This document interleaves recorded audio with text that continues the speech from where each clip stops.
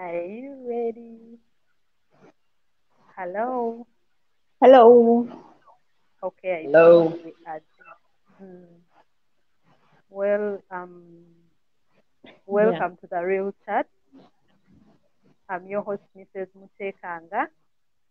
Thank you. Thank you so much for joining in and a good afternoon to all of us. Our topic today is child marriages and teenage pregnancies. Whose fault is it anyway? And with me, um, I have three guests with me. And uh, to start with, I have Ms. Baliama Olive. She is the CEO for Caro Atire Cancer Foundation, the director, Global Youth Network, Uganda chapter, and the Global Goals Ambassador for Uganda. Hello. Yes, Olive, say hello to the viewers. Hello, everyone. It's great to be here. Okay, thank you so much for that, Olive. Next is Ms. Winnie Ainembabazi. She is the founder and team leader for Girl Power Foundation Uganda, and it's a community-based organization in Kanungu district. Winnie, say hello to the viewers.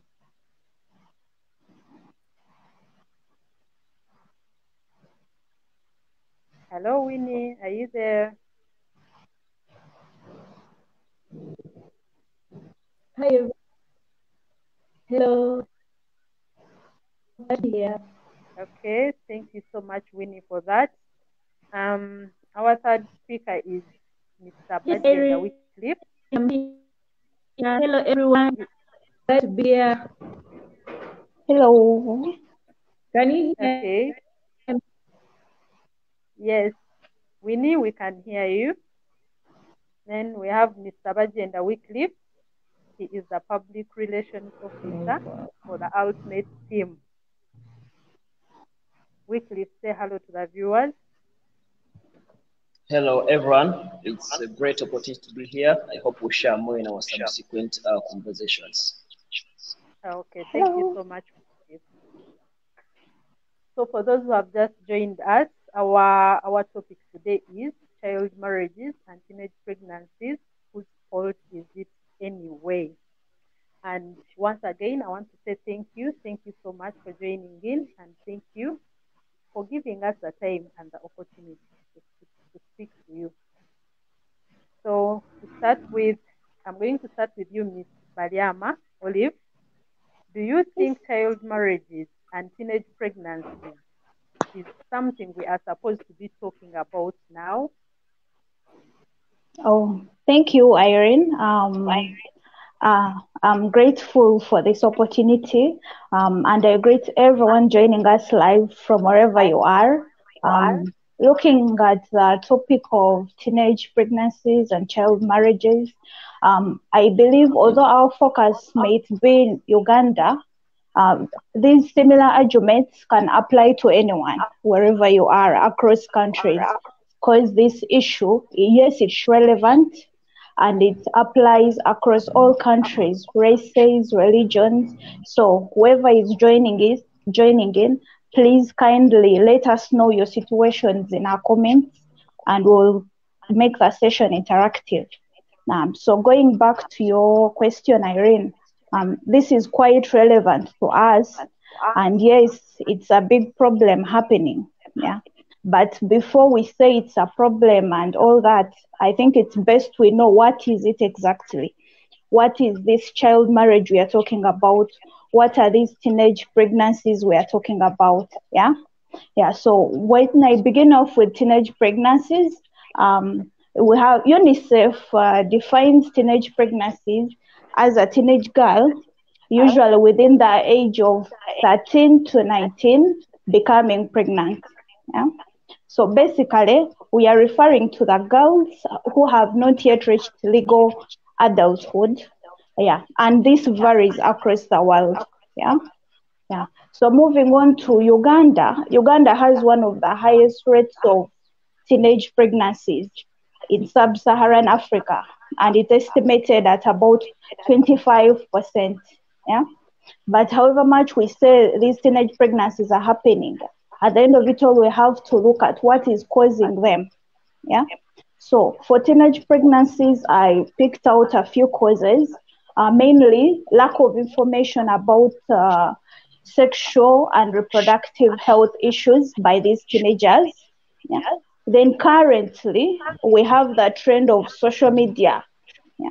So you find that the access to social media and pornographic content is quite easy for these girls and boys these days. Yeah um, there is decreased uh, supervision from the adults.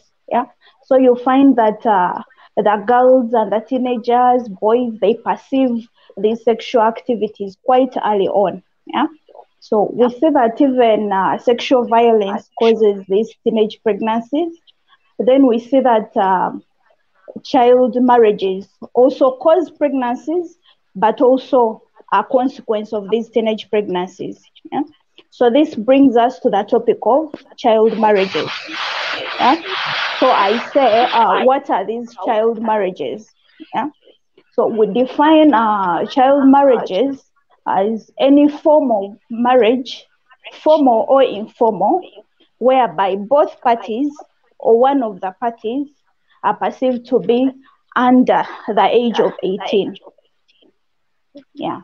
But then, uh, although the definition includes the boys, you find that the focus is mainly on the girls because most children married at less than 18 years, they are mostly girls. Yeah. So you find that it's perceived that it's mostly the girls who are affected. Yeah. So when we look at the statistics bit of it, um, worldwide, one in five girls are said to be married before 18 then over 650 million women uh, alive today were married as children. Then 12 million girls are married off before the age of 18 each year. But like I said before, uh, my focus will be mostly on Uganda, but these are similar arguments which can be carried on to other countries as well. Eh? So, according to UNICEF, in 2017, um, Uganda ranks 16th internationally among the countries with the highest prevalence rate of the child pregnant child marriages in the world. So you find that uh, yes, Irene, this is a big problem on our end, yeah. And uh, when you look at uh, the situation now, the COVID situation right now, it has just made everything worse we find that teenage pregnancies have skyrocketed. Uh, the child marriages have also skyrocketed. Yeah. So when you look at our topic today, like who is to blame? Yeah. Whose fault is it anyway?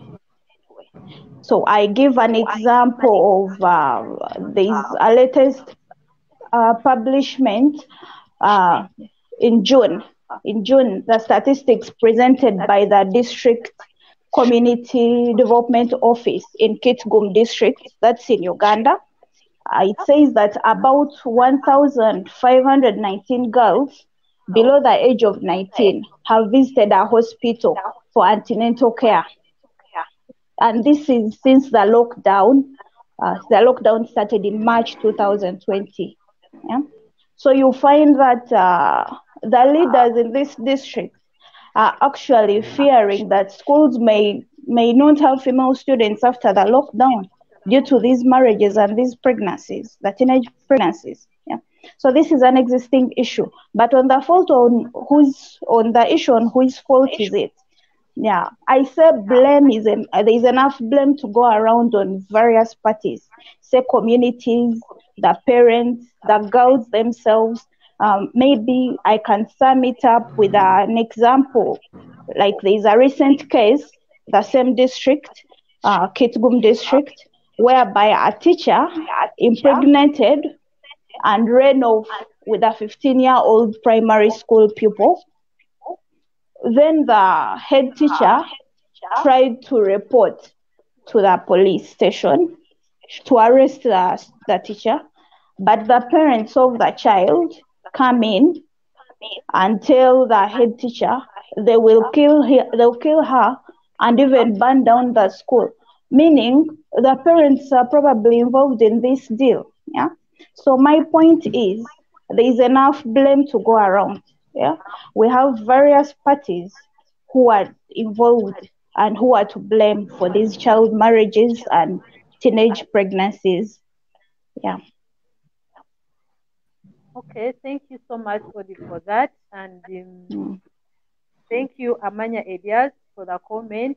And I think we can keep on the comments coming in. And then if you have a question and all that, you can also put it in the comment box and we'll be able to, to respond to all the comments. Thank you so much, Tushi, for joining us from Thailand.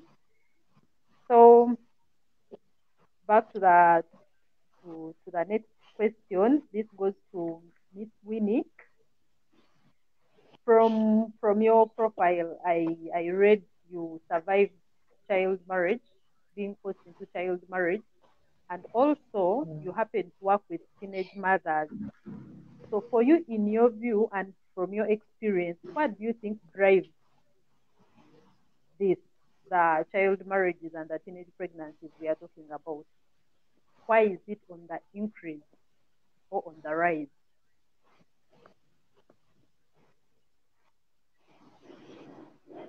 Mm.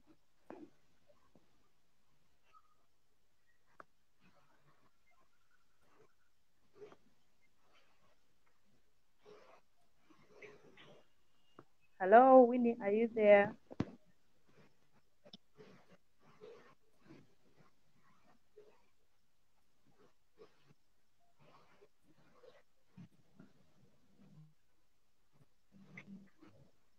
Hello?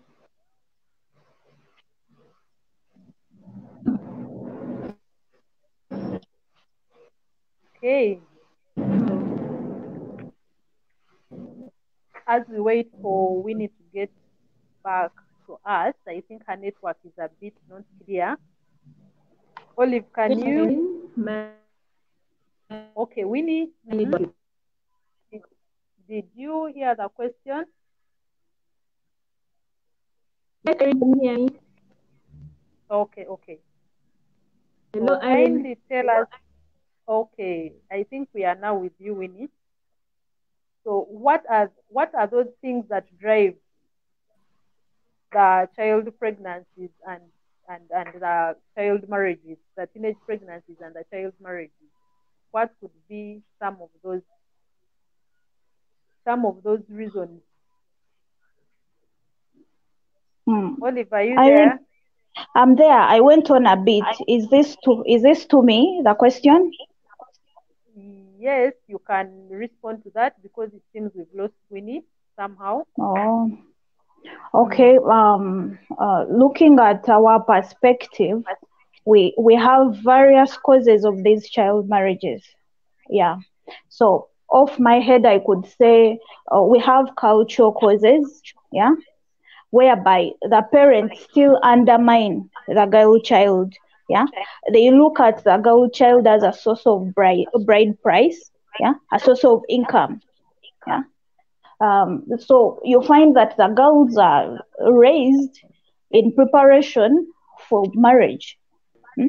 Basically, they they keep them around home, do house chores, domestic work, and the end of it all, they are married off at the earliest possible opportunity which presents themselves. So I would say culture is to blame a bit, yeah. But then you also look at poverty. So some households, their families are very poor. Yeah. So they look at, like I said, they look at the girls as a source of income, as an investment. So the parents could be like, we don't need to educate these students. We don't need to educate the girls. At the end of it all, they are going to mar- to get married and go to a different household, meaning we are not getting these returns back to ourselves. So in such situations, you find that poverty is also to blame. When someone marries off a girl, he or she expects bride price, and that money they believe will let them be well off for some time, I guess. So if you find a family with about four girls, Some of them even opt not to work. They just know this one will get married this year, then another year, like that. eh? Then um, we also look at the communities, yeah, because in some communities, girls grow up knowing it's it's their what it's up to them. Actually, some of them grow up preferring to get married than to go to school and suffer with books, reading, and all that. Yeah. Now, I think off my head, I could say that. Um, I've seen a comment. Someone says, I believe some parents are not responsible anymore. They literally leave children unattended to and expose them to the dangers of pedophiles roaming in the vicinity. Yeah, but if if I'm to answer Sharon, you say some parents are not responsible anymore, but it's the parents' responsibility to attend to a child. Yeah, monitor what they are looking at on social media. Yeah, tell them to dress well. Yeah, because some of these fed, uh, pedophiles roaming in the vicinity are attracted by our dress codes. Yeah, they're attracted by the way we behave.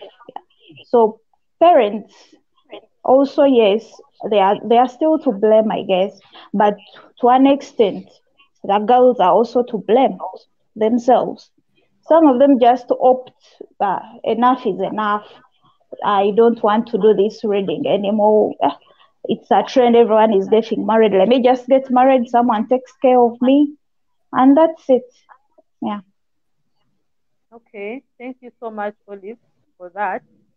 I can see Amanya Edias as she has put a comment in summary. Child marriages and teenage pregnancies are caused by the following: poverty, weak laws defending children, lack of information, lack of full parental care, culture, culture rigidity, something like that. Okay, thank you so much, Amanya, for for that comment. And then, um, Winnie, are you there?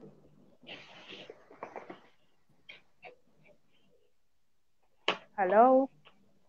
Okay. Now, um, let's. Oh, Wycliffe. Wycliffe, do you think? Do you think the boy child, the boy child has a role to play in all this, in like reducing the child marriages and the teenage pregnancies, and the what role that he?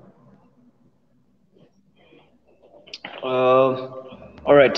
Thank you so much, Irene. So much. We we all know that a boy child is, is, is one of the trigger factors that may lead to to uh, teenage pregnancies, but but still they have the solutions as well. Because one, if if they engage in creative art, you know, I'll speak on the basis of, of I coming from a music label because I'm the spokesperson for the Ultimate Team and we are a music label. But we are trying to merge our efforts so that maybe we can do some charity as as you could have heard or seen on our, on our social media platforms. So we believe that if, if this young boy is, is engaged in, in creative art, uh, like maybe craft work, instrumental playing, or maybe debate or youth talks, yeah, we realize that that could, that could work out because this means much of their time will be occupied by something that is of value, yeah. So if, if this young boy is, is initiated on on creativity, like with the Ultimate Team, we, we we make bags sometimes. Um, we make we make so many things. Uh, craft work, something like craft work, yeah.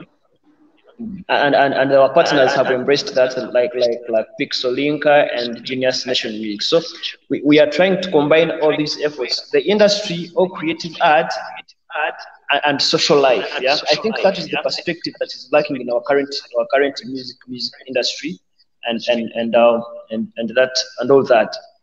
So we believe if, if this young boy is, is engaged in creative art, and of course the parent must give the backup. And for all these roles that can be played by a young boy, every parent must give a backup. Yeah? Because these boys cannot go on their own. So that they are engaged and they do not have the time to think about, you know, uh, sexual encounters or maybe initiating um, relationships that may not be of value. And it's equally important that these boys can keep in school. Just like I told you, uh, these young boys cannot raise fees on their own. Parents must give them support so that they, they play their role. So when they are keep they keep in school, they will be busy all the time. I believe parents must have seen the value of school this time round because um, as, as, as we have we have seen our statistics given from our previous speaker, we see the numbers are overwhelming, and we have seen around 2,300 uh, teenagers getting pregnant in around uh, four districts. So that was just a sample. This was uh, given out in, in Daily Monitor in, in July. So we realize the school has value. So if, if there is no more school, apparently, it means the parents must take over from that. So the efforts from the the efforts from parents become an alternative of school at that particular moment, especially right now when we are in lockdown.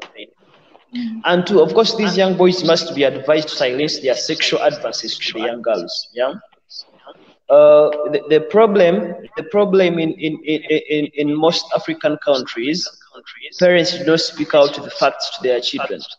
They only say, stop doing this. They never say, when you stop this, this is the importance. When you abstain, this is the value.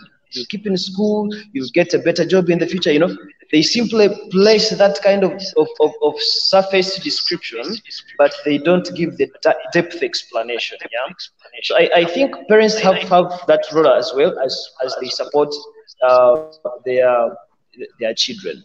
So whereas we, we, we talk about these young girls, or we talk or blame the parents, this young boy should equally be attended to because this boy is, is, is a problem now.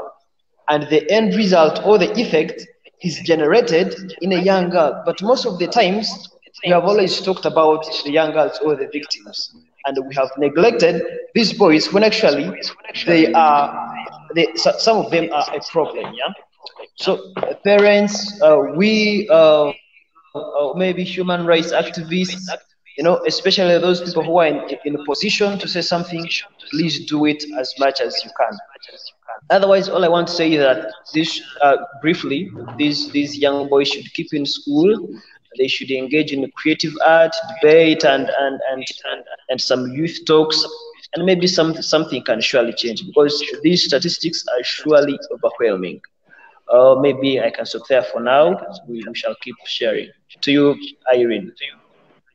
Okay, thank you so much, Wycliffe. And I think here is a question maybe you can respond to, or anyone on the team can respond to.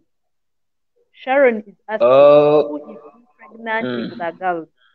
Are they fellow teenagers or adult men? What does statistics say? Who is impregnating the girls? Winnie, are you there?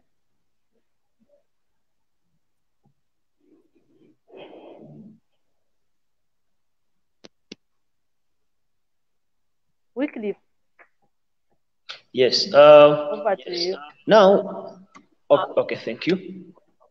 Basically, we, we, we of, of of course we have to we have uh, when we try to break it down, we have two age brackets, uh, just like Sharon has, has has shown in her comment, teenagers or maybe adults.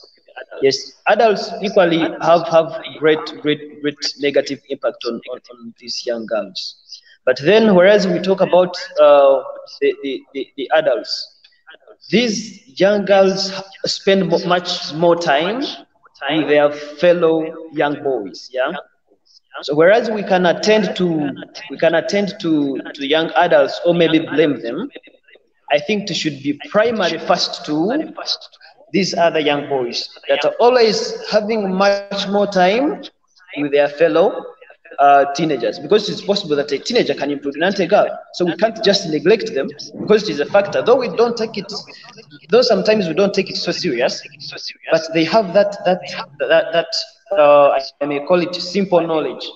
So that's why I was still saying these parents should still they should still attend to, to, to their young boys because they're also a trigger factor that can lead to uh, to, to, to teenage pregnancies. Back to you, Irene. Okay. Okay, thank you so much, Wycliffe. So does this mean maybe somehow the boy child has been neglected as in while we are trying to empower the girl child, we somehow forget about the boy child. Yes, definitely. That's what I'm trying to bring up. We, we, we attend to, to, to young girls much more than we should be attending to, to, to these boys because we have, we have realized they are also a cause. Because a 15 or 17 year old boy can, can, can impregnate a girl. So we should, we should speak to them as well. We should speak to them as well as much as we speak to the young girls. Okay, thank you so much, Wiki. For those who are just joining us, um, welcome to the Real Chat and thank you for joining in. Our topic is child marriages and teenage pregnancies. Whose fault is it anyway? So, Olive, from from what Wycliffe has said, I believe it's Mm. not only the boy child that is at fault here. So, can you help us Mm. understand who exactly is at fault when we talk about child marriages, the increase in child marriages and teenage pregnancies? Oh. So Wycliffe, I thank you, Irene. Um, Wycliffe brought in the perspective of the boys as well. Yeah.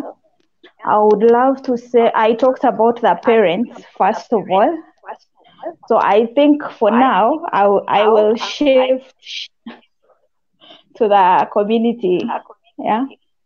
So mm, uh, Sharon asked, uh, is it the teenage boys or these the the elder ones? So when you look at schools in Uganda, the girls who get impregnated at school, most of them are impregnated by their teachers, the older teachers. Yes. Yeah. So for the boys, the boys Wycliffe talks about that their fellow teenage boys, their fellow teenage friends. I believe these ones uh, mostly impregnate them, say high school, eh? but some some schools like primary school, boarding school, it's mostly these older teachers who do that because they spend most of the time with these pupils, especially single schools, by the way for those ones, it's mostly the teachers. Yeah. Like I initially said, the blame goes to various parties. Yeah. So for the community, yeah, you find that there are expectations in the community. mm. There is pressure for people to get married. Yeah. So they, you see their eyes everywhere. When is she getting married and all that? So in these primitive traditional communities, as girls are being raised, they have it in their perspective that they're supposed to get married.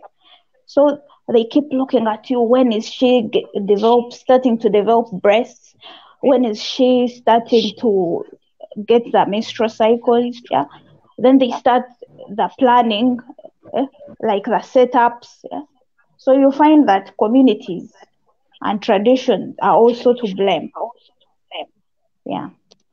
I think that's it for now. Back to you, Irene. Irene. Thank you so much. Um, Wycliffe, do you have anything to add on whose fault it is? yeah, um, I, I, simply want to start from, from, from, from where our previous speaker stood, but, but still, I, I will still focus to, to my role here that uh, some of the of these things, uh, pregnancy may, may happen in, in, in moments when you don't have basic knowledge, yeah, Mm, because your target would be maybe to have pleasure, yeah, mm, A- a- and then but, but you never you never think about the consequences that may, may, may come out, yeah. So I, I- think I, I still want to, to say that uh, it shouldn't only, of course, be a, a parent's role to speak to their children, but everyone's role. Because these young boys or girls uh, have great value ahead uh, and have a great, a, a big, a big, a great future ahead of them. So if, if there is anything wrong happening to a young girl, if their parents do not act quicker, you as a neighbor or a close relative could do something for them. Yeah. But still, I want to say, uh, though these these these young boys uh, are taken light, are taken as a light taken as a factor in teenage pregnancy, they equally deserve some some basic knowledge. Yeah, that, that is received, of course, so that maybe we, we, we, we can we can stop those issues of accessing uh, pornography online because whenever we deny these kids uh,